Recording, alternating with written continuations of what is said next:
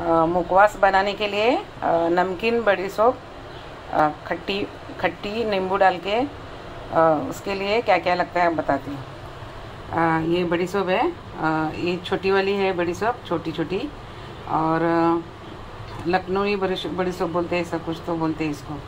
तो ये है, और, थोड़ा धनिया डाले, जितना एक वाटी बड़ी सोप, उतना ही एक वाटी धनिया डाल, और थोड़ा सा अजवाइन और थोड़ा सा तिल वाइट वाला तिल हाँ और काला नमक हाँ अगर काला नमक नहीं है तो ये अपना स्वाद अनुसार नमक भी चलेगा हम्म? और दो नींबू हाँ उसका मैंने ये जूस निकाल के रख दिया है तो अभी हम क्या करेंगे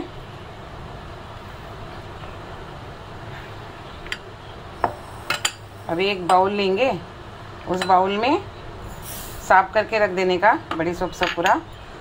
एक वाटी बड़ी सोप। उसमें दाल मिक्स कर दो। फिर इसमें ये तिल और अजवाइन मिक्स कर दो। और कितना चाहिए उतना ही नमक आप डालो, काला नमक। एक चम्मच जैसा नहीं सौ सौ ग्राम है बड़ी सोप और धनिया दाल। तो उसके लिए एक चम्मच से थोड़ा ज़्यादा लगेगा? काला नमक। काला नमक और फिर स्वाद अनुसार नमक वाला भी नमक डालना है हमें थोड़ा सा तो उसको और अच्छा टेस्ट आता है। और ये डालना है नींबू का रस हाँ। और अभी ये अच्छा से मिक्स करने का, एकदम अच्छा से। और मिक्स करके बिल्कुल एक तीन घंटा तक ऐसे ही रख देने का। अच्छे से उसको लगना चाहिए, नमक, नींबू और सादा नमक, काला नमक हाँ?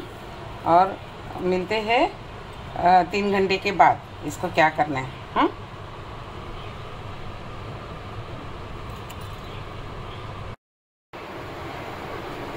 अभी ये तीन घंटा हो गया।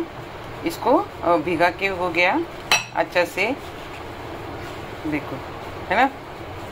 अभी कढ़ाई है ना ऐसा गरम करने के लिए रख देने का। थोड़ा मोटा कढ़ाई रखने का ऐसा जाड़ा वाला।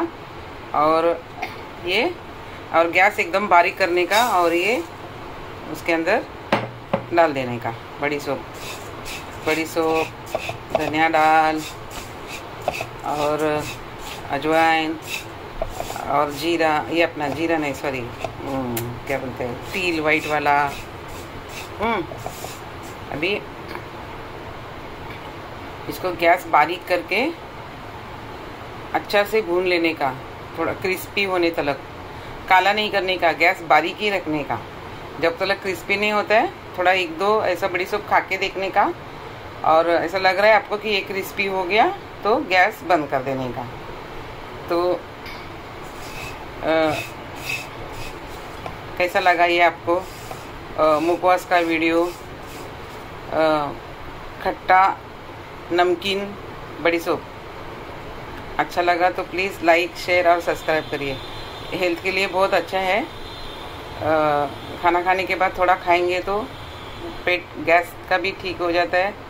पेट में गले में जलन है वो भी कम हो जाती है। तो प्लीज़ ये आप बना के खाइए और मेरे चैनल को सब्सक्राइब करिए ताकि मैं अगला वीडियो और अच्छे से कर सकूँ।